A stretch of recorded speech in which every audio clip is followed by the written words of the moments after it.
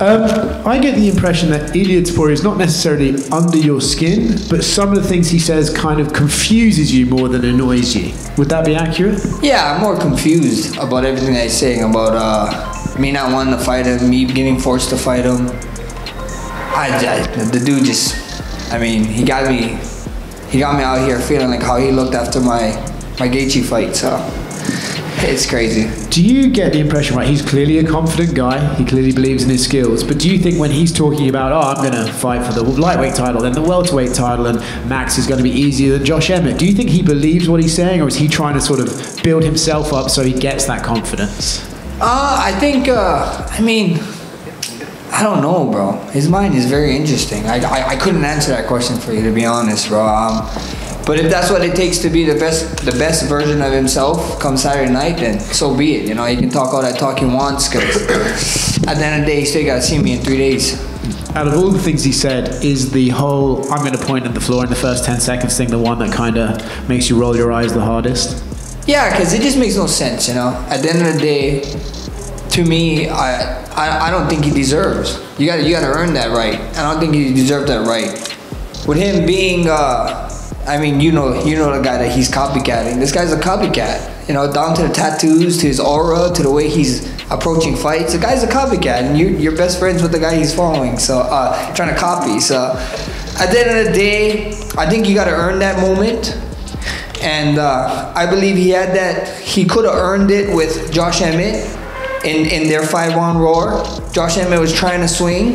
If you guys can go back to that fight and watch what happened when Josh Emmett was trying to swing, someone shot and someone hold someone down for the rest of the fight. So I think the moment needs to be earned, and he's just he's just trying to steal stuff. You know, he's already trying to steal one person's aura, and now he's trying to steal some somebody else's thing. So it's just it's amazing.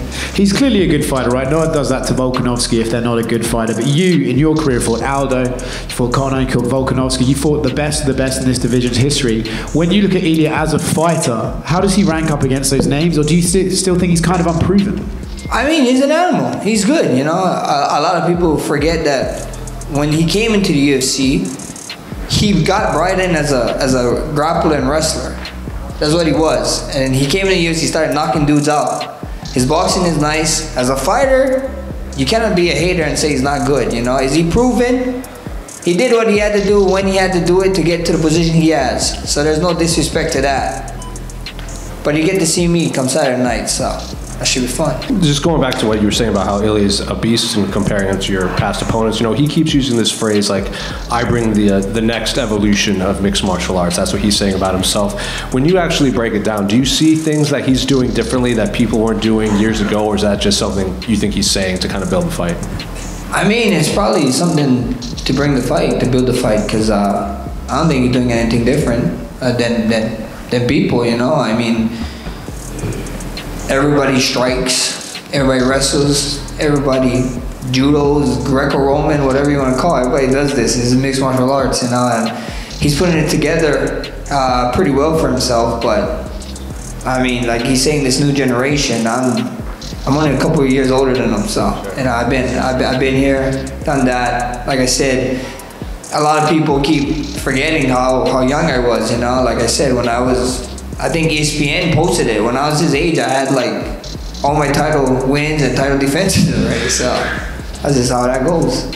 The Title fight aside, and the hype around this fight, after UFC 300, there were a lot of you know journalists and fans. They kind of circled this fight as their most anticipated fight for the rest of the year, right after UFC 300. You guys weren't even booked yet, so do you kind of take that as a like a like do you take pride in that? That even though the fight wasn't booked, like people were like, Jon Jones is still hadn't fought yet, and you know Pereira hadn't done his thing yet, but people were still circling this fight as like the one that they wanted to see.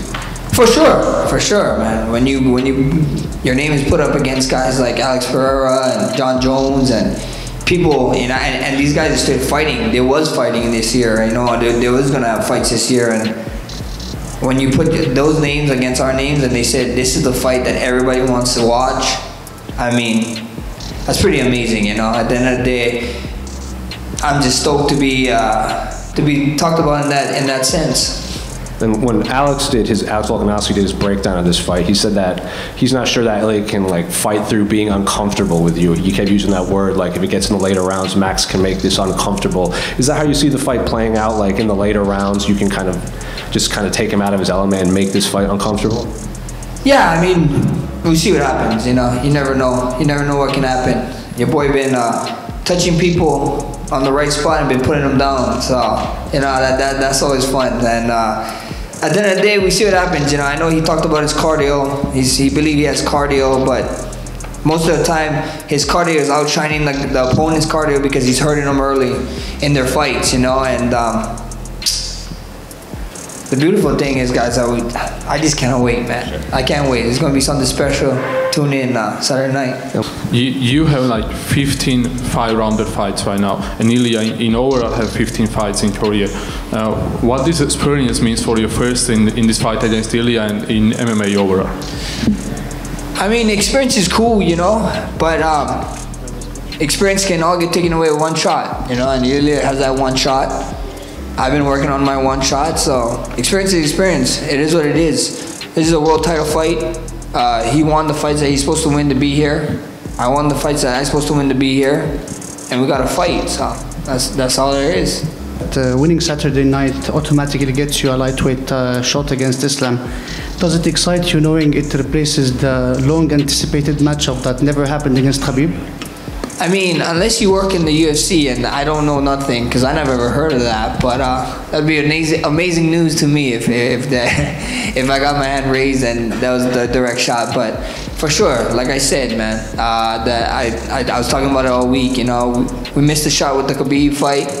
They call Islam the 2.0, and uh, I think Islam is like he's more uh, willing to fight me now. I know he I know he didn't care too much because why would he? You know, I was a 45er coming up and the 55 and and so and so whatever. But now he seems more openly to the fight. So I mean, never say never. You know, first things first. Like I said, though, I got Ilia. Uh, he's my full focus.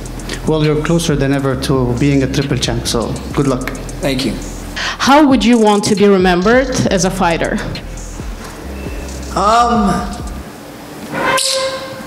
Actually, I, not even as a fighter. I just want to be remembered one of uh, the greatest people. Just a great person. That's it. No fighting.